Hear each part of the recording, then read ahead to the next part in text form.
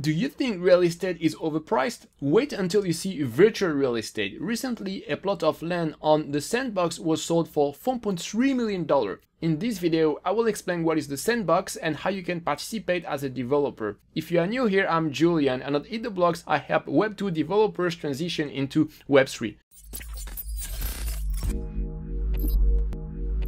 The Sandbox was created in 2012 by the game studio Pixowl. It started as a platform for pixel art before evolving into a virtual world. Like Minecraft, it's made out of voxels. However, unlike Minecraft, it's deployed on the Ethereum blockchain.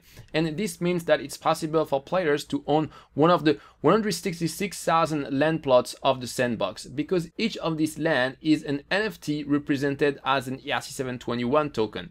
The ownership is recorded on the blockchain, but the metadata, like the land location and size, is recorded outside of the blockchain on a decentralized file storage called IPFS. When you own a land, it's possible to customize it. For example, you can add an item made by an artist on the Sandbox marketplace. You can also create your own items with the voxel editor of the sandbox. And you can also build a game for your plot by using the game editor of the sandbox. The native token of the sandbox is called SAND. SAND has a market cap of 4 billion, making it the third largest gaming cryptocurrency. Technically, it's an ERC20 token. It's used for buying and selling land, staking, and governance. To sum up, there are four things you can do in the sandbox. You can be a player that explores the virtual world. You can be a landowner that buys lands, build experience on them and sell them. You can be an artist that creates voxel items for landowners or you can be a game developer who builds game for landowners. And if you want, you can even build your own metaverse. This isn't easy, but we're still very early and metaverses have a lot of potential.